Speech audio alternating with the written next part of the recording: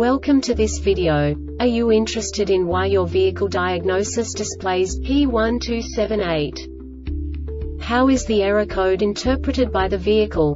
What does P1278 mean, or how to correct this fault? Today we will find answers to these questions together. Let's do this. First, let's look at the history of diagnostic fault code composition according to the OBD2 protocol, which is unified for all automakers since 2000. We divide the electric system of automobile into the four basic units. Powertrain, body, chassis, network. This distribution is defined in the first character code. If the second character is expressed as zero, it is a standardized error. In the case of numbers 1, 2, 3 it is a more prestigious expression of the car-specific error. The third character specifies a subset of errors. The distribution shown is valid only for the standardized DTC code. Only the last two characters define the specific fault of the group.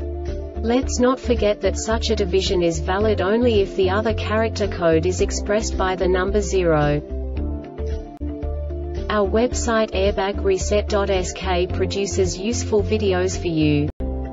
You do not have to go through the OBD2 protocol anymore to know how to troubleshoot any car breakdown. You will find all the diagnostic codes that can be diagnosed in a Infiniti vehicles. Also many other useful things. The following demonstration will help you look into the world of software for car control units. You unbelievably can move the video a bit further. The error code is split into two bytes consisting of 16 bits. One bit is the basic unit that each computer works with. The bit has two logical states. 0, low level, 1, high level. By combining the first two bits, the basic character of the error code is expressed. The next two beats again determine the second character. The last bit styles of the first byte define the third character of the code. The second byte is composed of a combination of 8 bits. The first 4 bits determine the fourth character of the code.